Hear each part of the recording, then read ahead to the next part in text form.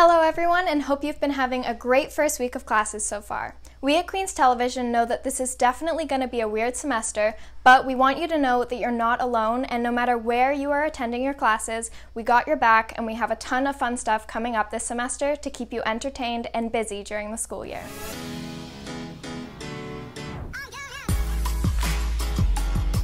First, this video is sponsored by Kingston Wheeling. If you're looking for a new activity to take up during the semester, why not rent or buy a one wheel and learn a new skill? We wanted to kick off our first video of the year with some information regarding COVID-19 policies in and around campus. So, without further ado, let's get straight into it. As you know, most on-campus services shut down in March due to the pandemic, but now they are slowly reopening to accommodate new rules.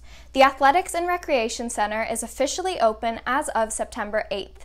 The ARC North will be open to Queen's students only by reservation, and starting on September 14th, it will be open to Queen's faculty and staff by reservation as well.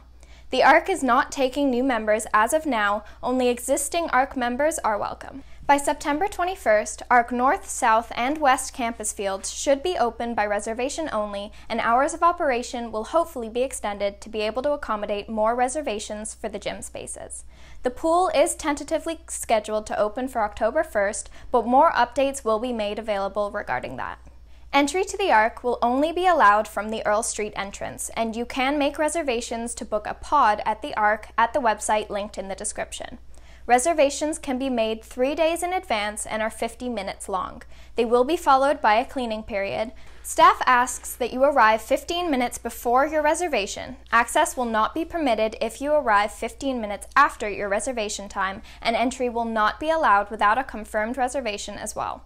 When you arrive, show your confirmation, show your completed daily secure app COVID self assessment verification, and show your ARC membership card, which should be your student card. Not only is the ARC reopening, but so is Stauffer Library. It will be the only open library during the fall term. 150 seats are available and will only be able to be reserved in advance online using an online reservation system. The library hours are from 8 a.m. to 7 p.m., weekdays only. Individual study seats will be available in two blockers per day, 8 a.m. to 1 p.m. and 2 p.m. to 7 p.m., so that's a solid five hours of studying. Please keep in mind each student has 32 hours per month per person in September. As October approaches, recommendations will be given and changes may be made to these time limits. That's everything that we have for you to stay safe this semester. Please be safe, wash your hands, wear your masks, and be sure to follow Queen's TV.